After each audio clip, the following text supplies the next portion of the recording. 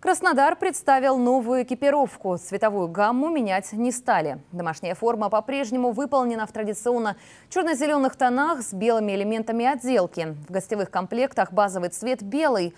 Экипировку разрабатывал один из крупнейших производителей спортивной одежды. В новой форме футболисты выйдут на поле через неделю.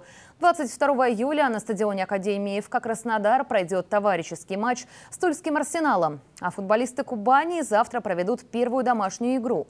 В 19 часов на стадионе Кубань желто-зеленые принимают луч энергию из Владивостока.